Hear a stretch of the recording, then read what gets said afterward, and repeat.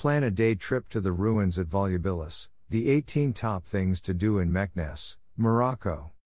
To the north of Meknes lie the ruins of Volubilis. One of Morocco's best preserved ancient sites, the city was once the capital of the Kingdom of Mauritania, and later the southernmost outpost of the Roman Empire.